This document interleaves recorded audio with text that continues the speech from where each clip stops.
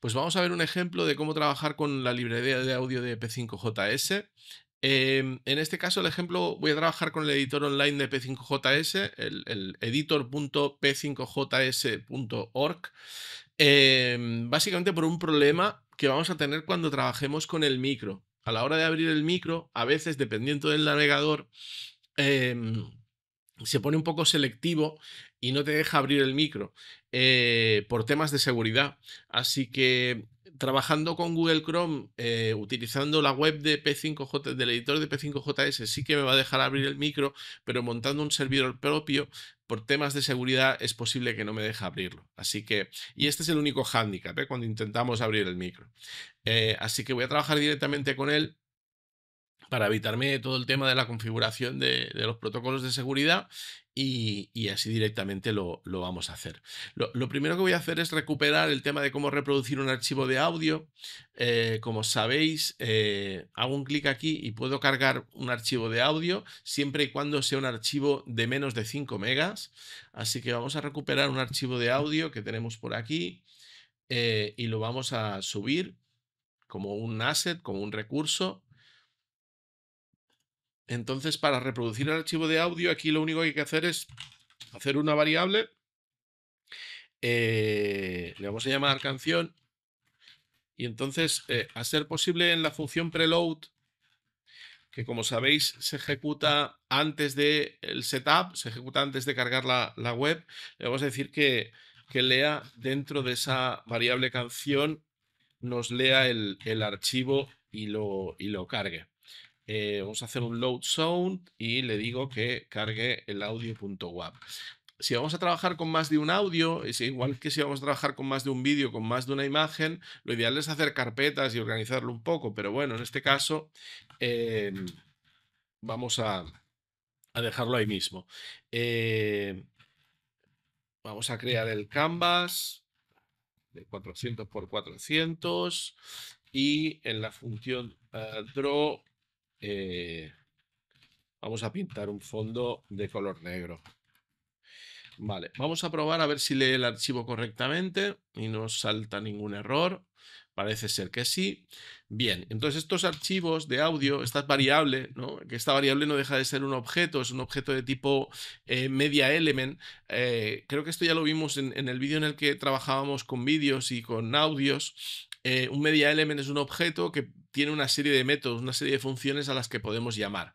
En este caso, si hacemos un canción.play, empieza a reproducirse la canción. Le voy a decir que si pulso una tecla y la tecla es una A, pues que empieza a reproducir esa, esa canción, ¿no? Canción.play. Vamos a probar a ver si funciona correctamente. Ejecuto el programa, hago un clic aquí, aprieto la A. Ahí está, está reproduciéndose. Voy, a añadir también un, otra, otra tecla para que la pare. ¿Vale? Para que llame al método stop, a la función stop y lo pare. Y entonces así con la, con la A y con la B puedo ejecutarlo y pararlo. ¿Vale? Quiero que comprobéis una cosa, y es que fijaos que si pulso la A y empieza a reproducirse la canción y vuelvo a pulsar la A y vuelvo a pulsar la A y vuelvo a pulsar la A, se reproduce la canción muchas veces de forma paralela. Fijaos. ¿Vale? Esto es una cosa que nos puede conducir a error, ya que cada vez que llamamos a la función canción.play entra a reproducirse la canción, eh, pero no para la anterior. Con lo cual, esto puede ser un problema, ¿no? Sobre todo si hacemos, eh, pues es una pulsación larga y empieza a reproducirse un montón de veces y acaba saturando la memoria. Eh, después aquí tenemos bastantes más métodos para trabajar, aparte del play y el stop.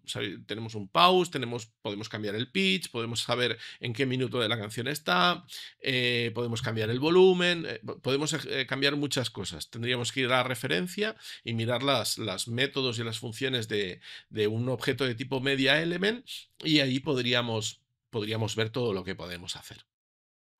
Pero no solo eh, podemos trabajar con, audios, sino que eh, también lo que podemos hacer es, por ejemplo, abrir un canal de entrada que no sea un audio, como podría ser la entrada del micro de, de nuestro ordenador. Vamos a hacer una variable de tipo mic ¿vale? Y a esa variable de tipo mic le vamos a decir que me haga... Eh, le vamos a decir que va a ser un new eh, P5 audio in. El audio in es la entrada, ¿vale? Abre la entrada de audio, la que tenga configurada por defecto, que en este caso es el mismo micro con el que estoy hablando, y eh, le digo que empiece a escuchar. La función start hace que el objeto ese, que es una entrada de audio, eh, se active y empiece a escuchar el micro. Entonces, el momento que hago un play y él me abre el micro, veréis que el navegador me va a pedir permiso para abrir el micro, le decís que sí, entonces me va a estar escuchando, ¿no? Entonces, ¿qué puedo hacer con ese micro? Pues una cosa que puedo hacer, o sea, podría leer el audio y grabarlo y, podría hacer mil cosas, ¿eh? Pero una cosa así como muy fácil que puedo hacer es leer el nivel de volumen con el mic.getLevel, ¿vale? Entonces esto me va a leer el nivel de volumen y, voy a pintarlo. Voy a poner un color tirando a blanco y le voy a decir que con un text me escriba el nivel de volumen aquí en, medio de la pantalla, ¿vale? Entonces fijaos que eh, ahí cuando, cuando hablo, fijaos que es un número muy chiquitito, pero cuando me acerco al micro y hablo muy cerca o, hago un golpecito, el número, el número sube vamos a hacer una, adaptación así como muy cutre, muy sencilla, ¿vale? Y es que le voy a decir que quiero que me dibuje una elipse en medio de la pantalla, en la parte de abajo del todo, de 30 por 30. Y entonces a esta altura le voy a restar el nivel ese que estoy leyendo multiplicado por algo. Lo voy a multiplicar por mucho. Lo voy a multiplicar por 2000, por ejemplo a ver si, a ver si funciona. Entonces fijaos que ahí tengo la, bola esa y cuando hablo eh, se va moviendo. vamos a ver otra cosa que podemos hacer. Hemos visto cómo podemos cargar audios y reproducirlos. Hemos visto cómo abrir el canal del micro para leer el micro en tiempo real. Y entonces ahora otra cosa que podemos hacer que permite hacer, ya os digo, ¿eh? todo esto lo estamos haciendo muy a nivel por encima, después si queréis explorar, pues os vais a la referencia y miráis todos los métodos, funciones y, posibilidades. Em, otra cosa que podemos hacer es crear un oscilador y empezar a generar ondas eh, nosotros sobre, sobre la marcha, ¿no? Entonces, hago una variable de tipo oscilador, le digo que oscilador es igual a new eh, p5 oscillator entonces me crea un oscilador y entonces aquí cambio los parámetros de ese oscilador. ¿no? Le voy a decir, por ejemplo, que el, el me parece que era wave, a ver, voy a consultarlo porque esto es set type, perdón, set type, set type, y entonces aquí le digo que es una onda de tipo sinusoidal, un sine. sabéis que las ondas de audio pueden ser triangulares, cuadradas, sinusoidales. Vamos a hacer una sinusoidal, vamos a decirle que la frecuencia pues sea 240, pues, por ejemplo. No, que sea un La de la, de la primera, ¿no? 440. Eh, le vamos a cambiar la amplitud, le vamos a poner un 1 y, y le decimos que empiece. Le decimos un start, ¿vale? Entonces, ahora lo que va a hacer no es que vaya a reproducir un audio ni que vaya a leer el micro, sino que va a generar él un audio generando una onda. ¿Vale? Entonces, claro, con esta onda puedo jugar un montón. Si yo aquí en el draw le digo que la amplitud está relacionada con el mouse Y, vamos a dividirlo entre, entre bastante, porque creo que el número es, grande, y le digo que la frecuencia em, esté enlazada con el mouse X, pues yo ahora podré generar una onda eh, que puedo ir variando en función de dónde está el ratón. ¿Vale? bueno, y ahora vamos a ver otra cosa. Vamos a ver otra cosa y, para eso vamos a recuperar eh, lo de cargar el, el, archivo de audio que estaba sonando, canción. Vamos a leerla, canción igual a load sound y cargamos el archivo ese de audio. ¿Vale? Cargamos ese audio y entonces lo que vamos a hacer es em, hacer un análisis del audio, hacer un análisis en tiempo real. Para hacer un análisis en tiempo real del audio utilizamos una tecnología que es la que se utiliza normalmente para hacer un análisis del espectro, que es la FFT, la Fast Fourier Transform, la transformada de Fourier rápida. Transformada de Fourier rápida es, una técnica matemática que me permite analizar en frecuencia un, audio que está sonando. Entonces, lo único que tengo que hacer es, es cargo la canción, la cargo como siempre, eh, creo este, esta variable que se llama FFT y le asigno em, el, objeto de, transformada de Fourier rápida, new eh, P5 FFT. Entonces, esta FFT me va a analizar el, espectro y, ya está. Entonces, yo aquí le voy a decir que dentro del draw eh, haga una variable de espectro que sea igual a fft.analyze. ¿Vale? Entonces esto me analiza el espectro y entonces en la variable espectro lo que voy a tener es un array eh, tan grande como las frecuencias que he analizado esta FFT, eh, de la 0 a la que sea, y entonces en, ese array voy a tener una, un número que es como de, de fuerte está sonando esa frecuencia. Entonces si quiero pintarlo, vamos a tener que hacer un, bucle para pintarlo así en ancho. Así que vamos a hacer un, bucle. Em,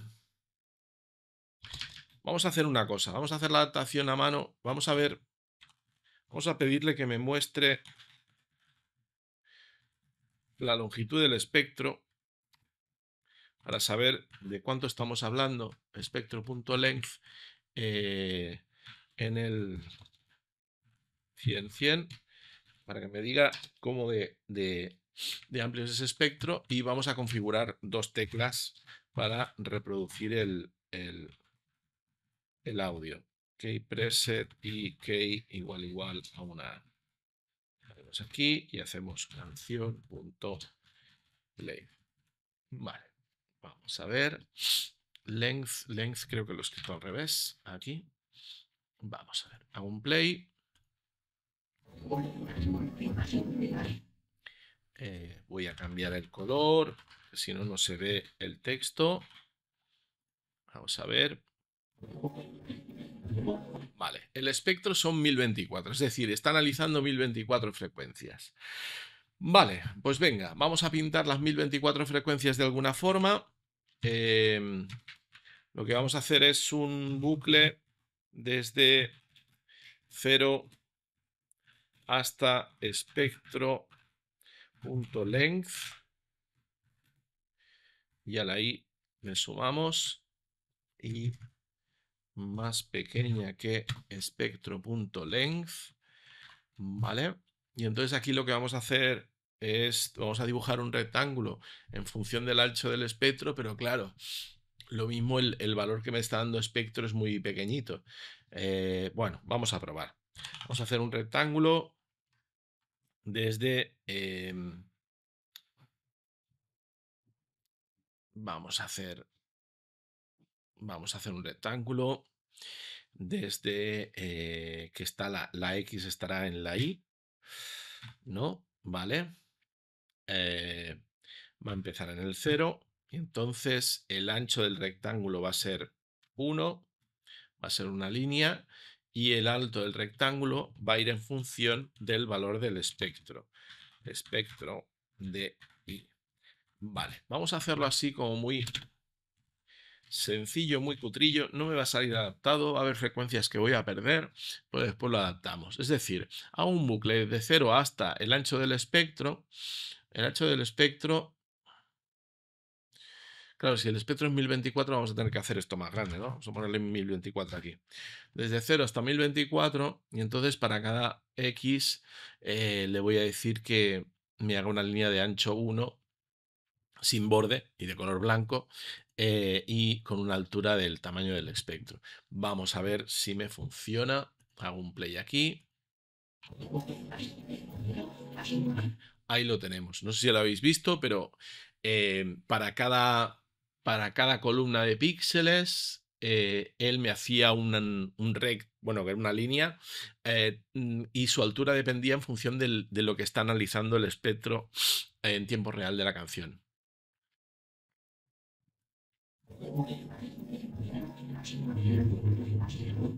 Ahí está.